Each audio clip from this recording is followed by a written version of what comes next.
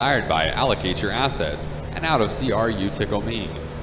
Read by Jessica Kopp, owned by Elaine Haw, and written by Jessica Johnson, pro horsewoman of Pickerington, Ohio.